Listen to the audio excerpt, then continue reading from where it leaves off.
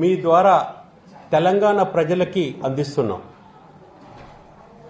ఎందుకంటే పార్లమెంటు జరిగే ముందు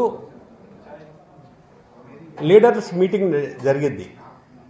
ఇరవై ఎనిమిదో తారీఖున ఆ మీటింగ్ జరిగింది. ఆ మీటింగ్లో నేను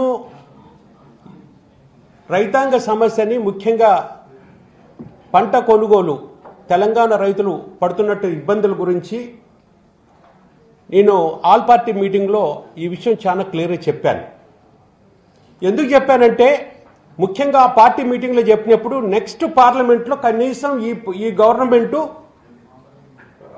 ఒక స్టేట్మెంట్ ఇస్తుంది మేము లేదనెత్తిన అంశాలని పరిష్కరిస్తుందని అనుకున్నాం.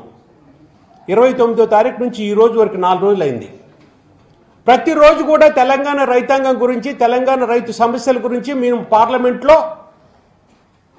రెండు హౌస్లలో కూడా అటు రాజ్యసభలో ఇటు లోక్సభలో మేమందరం కూడా కలిసి ఒకటే డిమాండ్ చేస్తున్నాం. మీరు ఏదో ఒక హౌస్లో మాకు ఒక స్టేట్మెంట్ ఇవ్వండి. ఈ స్టేట్మెంట్ కూడా అడగటానికి కారణం ఏంటంటే ఒకటి మా రైతాంగం ఇబ్బంది పడుతుంది. మీరు పండించిన పంటను మీరు కొనట్లేదు. రెండు పంటలలో ఒకే పంట వేయమని అంటున్నారు? వర్షాకాలం ఒకటే వేయమంటున్నారు మీరు నలుగురు నాలుగు మాటలు చెప్తున్నారు దయచేసి ఒక స్టేట్మెంట్ కనుక మీరు ఇస్తే పార్లమెంట్ సాక్షిగా. అది మా రైతాంగం మేమందరం కూడా ఆ విధంగా ఇదవుతాం.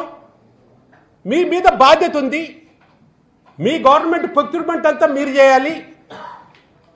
ఫుడ్ సెక్యూరిటీ కానీ అదేవిధంగా ఎఫ్సిఐ కానీ అంతా మీ కంట్రోల్లో ఉంది.